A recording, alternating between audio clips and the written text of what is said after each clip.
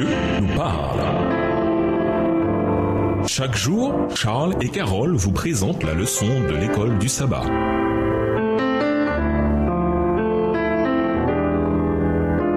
Bienvenue dans votre émission. Dieu nous parle. Nous voilà à la leçon de vendredi. Pour aller plus loin, réfléchissez au lien entre l'arbre de la vie et l'arbre de la connaissance du bien et du mal. Ce lien est déjà sous-entendu par le fait qu'ils étaient tous deux situés au milieu du jardin. Genèse 2, le verset 9. Mais le lien entre ces deux arbres n'est pas que géographique. C'est parce que les humains ont pris du fruit de l'arbre de la connaissance du bien et du mal, parce qu'ils ont désobéi à Dieu, qu'ils ont perdu accès à l'arbre de la vie et qu'ils ne pouvaient plus vivre éternellement, du moins dans cet état, cette condition. Ce lien met en évidence un principe profond. Les choix moraux et spirituels ont un impact sur la vie biologique, comme Salomon l'a enseigné à son fils. N'oublie pas mon enseignement et que ton cœur garde mes préceptes, car ils t'ajouteront longueur de jour, année de vie et de paix. Proverbe 3, les versets 1 et 2. Ce lien réapparaît dans la Jérusalem céleste à venir, où seul l'arbre de vie est présent au milieu de la grande rue de la ville. Apocalypse 22, le verset 2. Lorsque Dieu créa Ève, il voulut qu'elle ne fût ni inférieure ni supérieure à l'homme, mais en tout point son égale. Le couple sain ne devait pas avoir d'intérêt en dehors de l'un ou l'autre de ses composants. Cependant, chacun avait sa personnalité en pensée et en acte. Toutefois, après le péché d'Ève, le Seigneur lui dit qu'Adam dominerait sur elle, parce qu'elle avait été la première à pécher. Elle devait être soumise à son mari. Cela faisait partie de la malédiction. Dans bien des cas, cette malédiction a rendu particulièrement lourd le lot de la femme et a fait de sa vie un fardeau. L'homme a abusé de la supériorité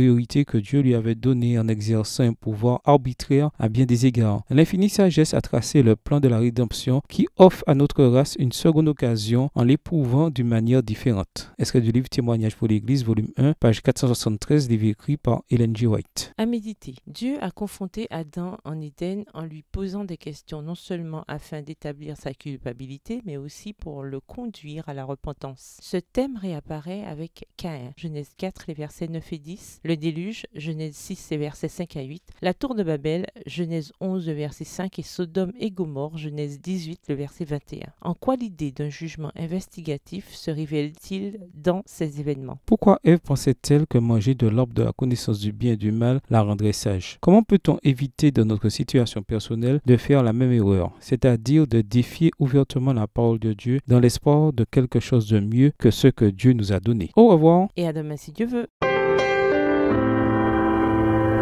Dieu nous parle. Chaque jour, Charles et Carole vous présentent la leçon de l'école du sabbat.